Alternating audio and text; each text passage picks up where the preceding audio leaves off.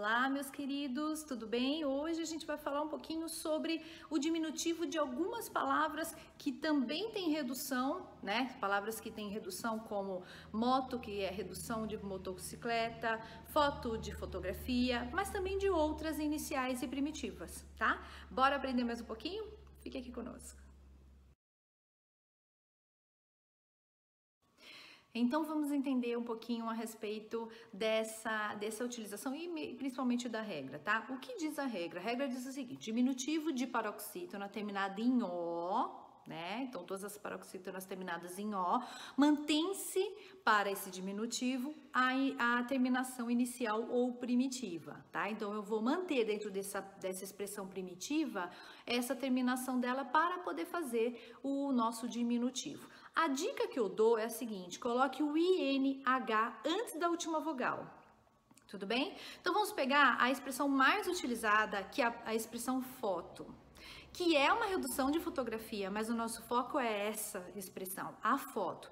A ideia primitiva dela, que é foto, termina com O. Antes do O, ou seja, antes dessa vogal, eu vou aplicar essa dica, o INH, para fazer o diminutivo tá? E não me importa aqui, turma, o gênero dessa palavra, tá? A nossa intenção aqui para fazer o diminutivo, sempre dentro da, da gramática tradicional, é aplicar a regra. Dentro do diminutivo, o foco não é trabalhar o gênero dessa palavra, tá? Essa é uma dica muito importante. Então eu falo uma fotinho foi publicada ali naquela rede social. Então vejam, uma fotinho, eu não tenho aí a questão de gênero, né? Eu não faço a concordância com o gênero dessa palavra. A mesma coisa com moto, que é a redução de motocicleta né?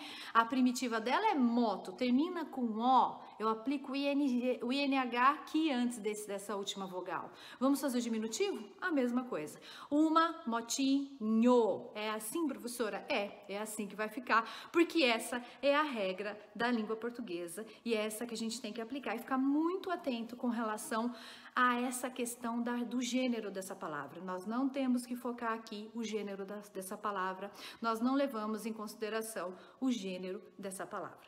Tudo bem? Então vamos fazer agora o sufixo dela.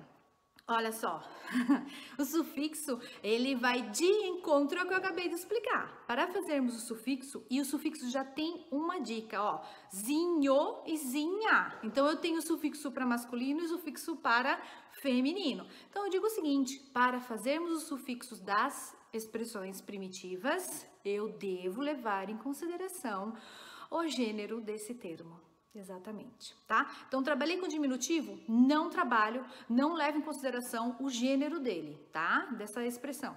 Trabalho com o sufixo? Sim, levo em consideração. Então, um cinema, um cinemazinho. Uma moto, uma motozinha. Olha o zinhozinha, fazendo a concordância com o gênero da palavra, né? Uma foto, uma fotozinha. Tudo bem? Então, diminutivo da palavra não leva em consideração gênero e o sufixo eu levo em consideração sim o gênero do termo. Tudo bem? Espero que tenha entendido. Até o próximo vídeo. Um beijo a todos. Até mais.